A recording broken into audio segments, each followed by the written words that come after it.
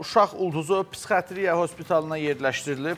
Star Wars, yəni Ulduz Müharibələri serialının uşaq ulduzu kimi tanınan və filmdə Anakin e, Skywalker obrazı ilə yadda qalan Jake Lyot e, psixiatriya hospitalına yerləşdirilib. Onun orta məktəb illərindən psixi problemləri olduğu və 10 aydır e, psixi sağlamlıq mərkəzində müalicə aldığı üzə çıxıb. Bununla bağlı 35 yaşlı aktyorun anası Liza Lyot e, Scripps News nəşrinə verdiyi müsahibədə danışıb. Liza Lyot oğlunun xasiyyətindəki dəyişikliyi ilk dəfə gördüyünü gördüyü vaxtı xatırlayıb. Jake-in orta məktəbdə bəzi problemləri yaranmağa başladı. O fərqli reallıqlar haqqında danışırdı. Bu reallıqdamı, yoxsa başqa bir reallıqdamı olduğunu bilmirdi. Nə deyəcəyimi bilmirdim deyə qadın qeyd eləyib. Aktyorun anasının sözlərinə görə Jake-i həkimə apardığı zaman onda bipolyar pozğunluq ola biləcəyi deyilib. Problemin aradan qaldırılması üçün bir neçə dərman verdilər, amma heç biri təsir etmədi. Daha sonra universitetə başladı,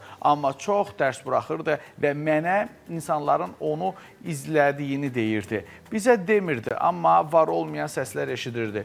Küçədə ona baxan qara gözlü insanları gördüyünü deyirdi.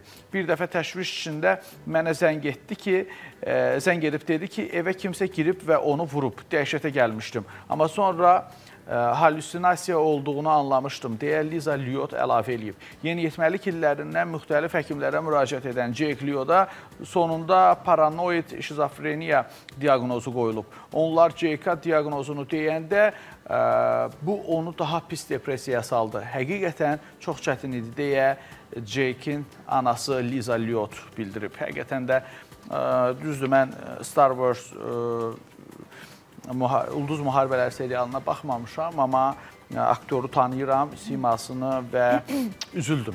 Üzüldüm Bəli, ki, belə Jake- bir istedadlı gənc bax bu Bəli. xəstəliyə düçar olub.